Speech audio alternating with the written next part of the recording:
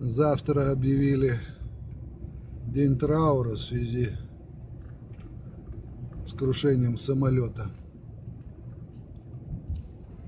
Ну вот флаг приспустили сегодня.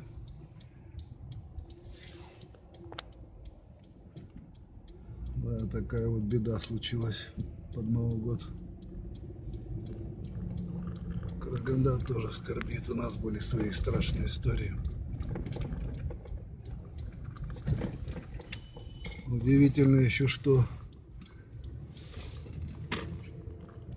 посадили самолет с полными баками, и он не загорелся. Это, конечно, удивительно. Наверное, немножко чудо такое вот было.